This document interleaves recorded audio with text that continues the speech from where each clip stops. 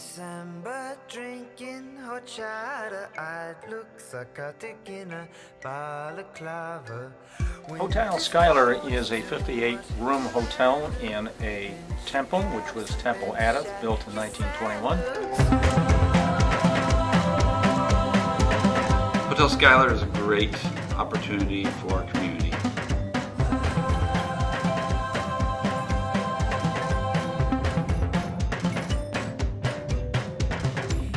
Hotel Skyler basically is a new generation of hotels for a new generation of travelers. It is about respect for the environment. Lips and teeth to ask how my day went. Some of the things that you won't see on the surface are some of the things that are going to be going into the actual construction of the building. Um, some of the products, the construction products that we're using, some of the materials, um, right down to our furnishings and our finishes are going to have recycled content. Out here in the parking lot, we, we, they, they drilled uh, 18 500 foot deep wells. And then those, those are strung into the building, which is already here. So it cools and heats from the earth. This is the big space. This is the, was the sanctuary. And we were able to add two interstitial floors in here. So this will be a three, three-story space. Eclectic bohemian.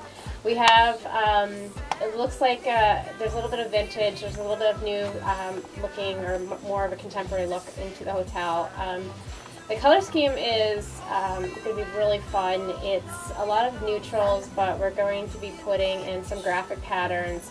There's a lot of greens, there's a lot of tealy peacock blues um, with hits of oranges, um, a little bit of golds.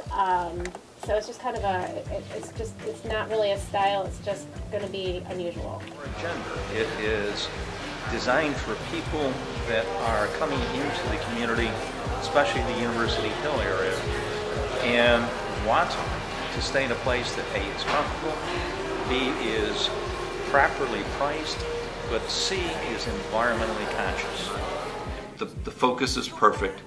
The location is superb, uh, right there on University Hill, very near to our medical resources, very near to our, our educational institutions.